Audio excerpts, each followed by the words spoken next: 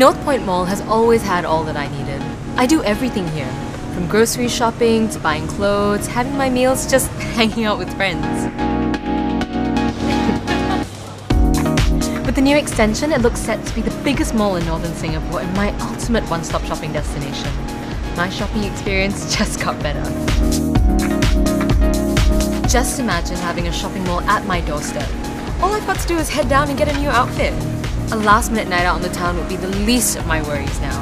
I'll even be able to catch the latest blockbusters at the cinema next door. Pool parties would be such a perfect way to unwind. I could lounge in a deck chair all day and get a tan while I'm at it. And if I ever need more bikinis, I can always get more at the mall. Then it'll be another retail therapy session for me and my friends. Getting around and to work will be easy for me too. It will take less than 30 minutes to get to my office in Raffles Place. There will be so much to take in and do. I'll be able to enjoy my weekend with friends without even having to leave home. How cool would it be to hold a party and have all my friends over for a glass of wine? I've started counting down to the day where I'll move into North Park Residences, the integrated homes above North Point City.